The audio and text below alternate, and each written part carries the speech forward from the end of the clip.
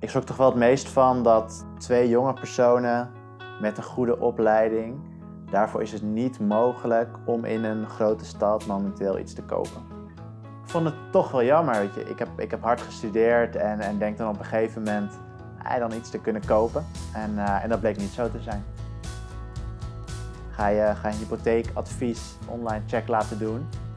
Uh, dat voor mij als, als starter op de woningsmarkt gewoon nog niet mogelijk is om een huis te kopen. Kijk bij leeftijdsgenoten en vrienden, dan zie ik toch wel dat die studieschuld echt wel veel mensen dwars zit in het zoeken en het vinden van een hypotheek.